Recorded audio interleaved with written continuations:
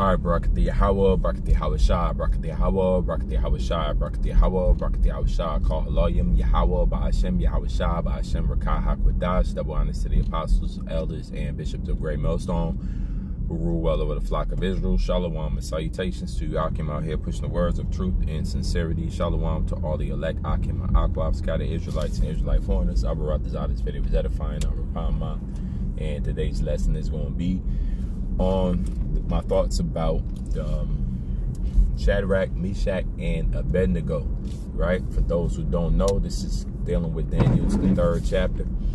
And this is a great biblical story of faith, um, of integrity, uh, loyalty to the Heavenly Father. And um, it's a it's a pinpoint of how not to um, how to perfectly remember Lot's wife. And so that you don't ever get so caught up into your job, into your position, um, into this world that you forget the world to come is greater than this world. And the one who is ushering in the world to come, Yahweh Shah, is greater than the one who controls the world now, Esau, Edom, so-called white people.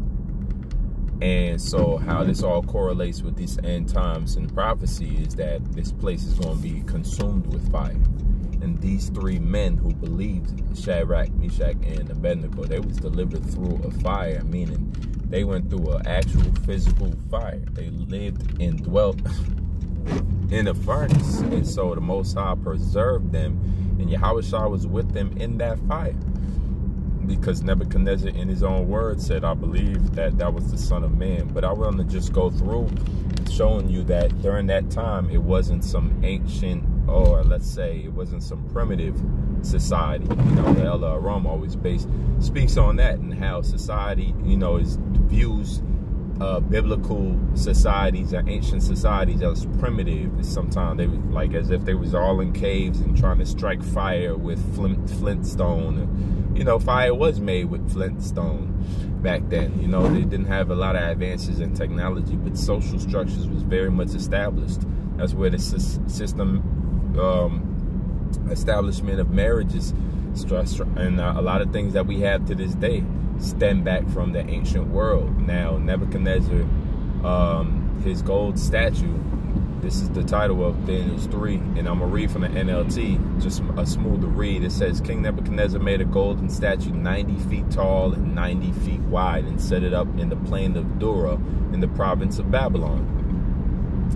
Then he sent messengers to the high officers, officials, governors, abbots, advisors, Salaki, um, treasurers, judges, magistrates, um, and all provincial officials to come to the dele uh, dedication of the statue he had set up.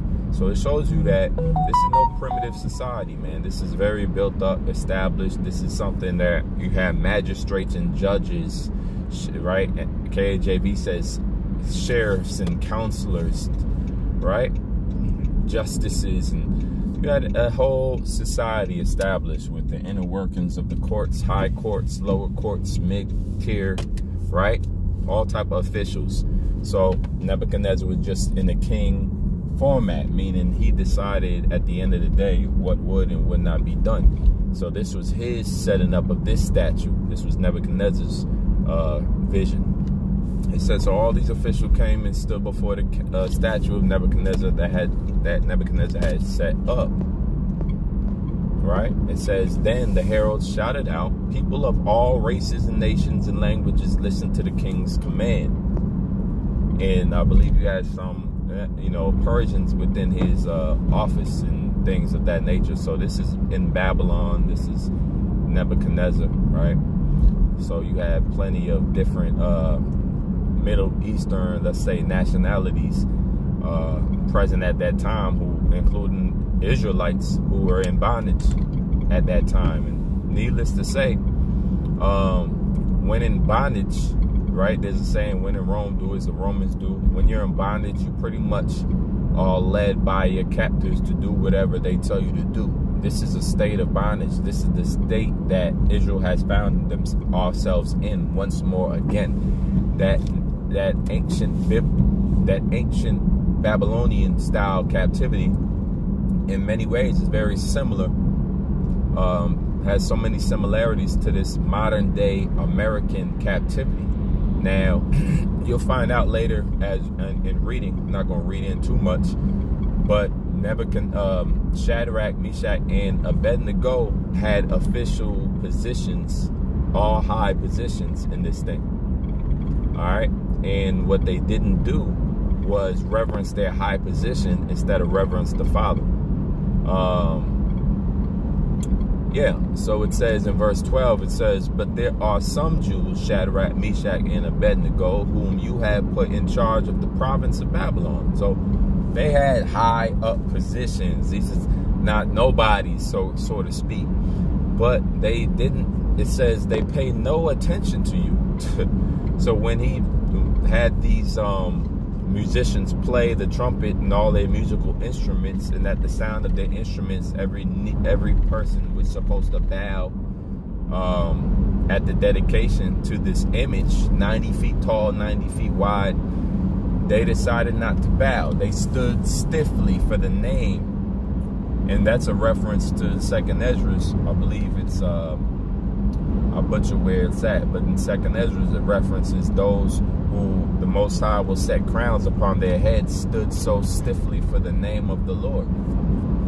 Right? And so this is the literal standing stiffly in this sense.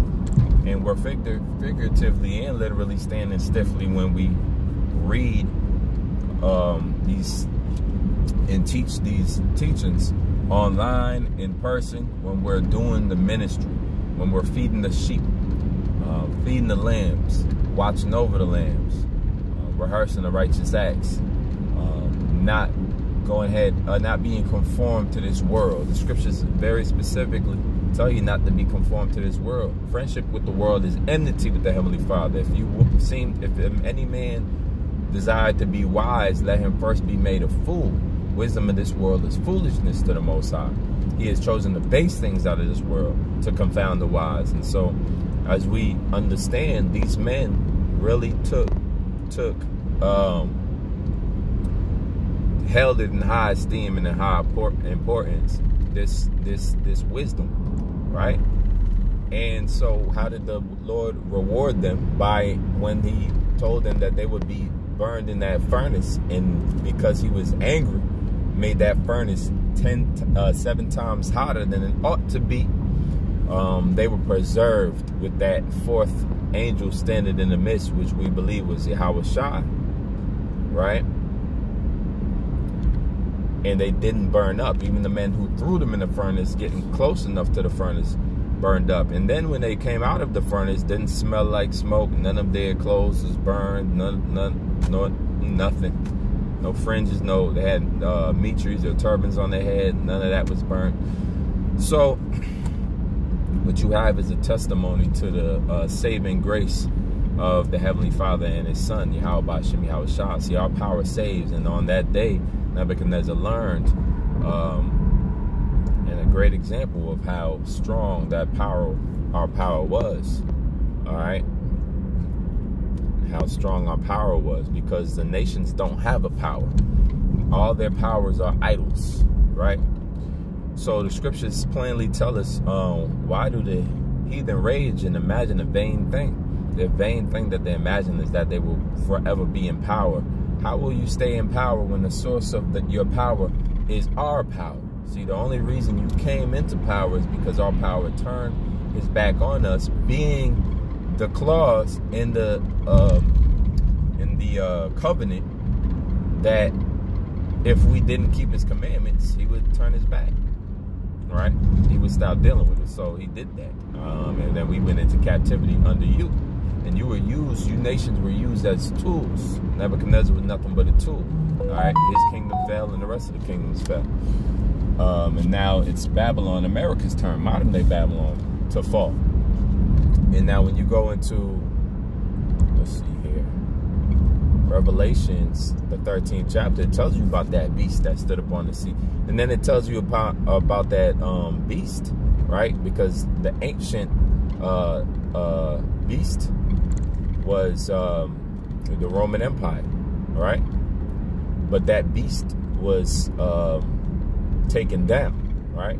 The Holy Empire, Holy Roman Empire took over, and for a thousand period of thousand years, you know, Esau, Edom, was subjugated, was subject. He didn't rule the world anymore. That was known as the Dark Ages. But that deadly wound was healed. The scriptures go into in Revelation. And then that beast of the earth came back up again.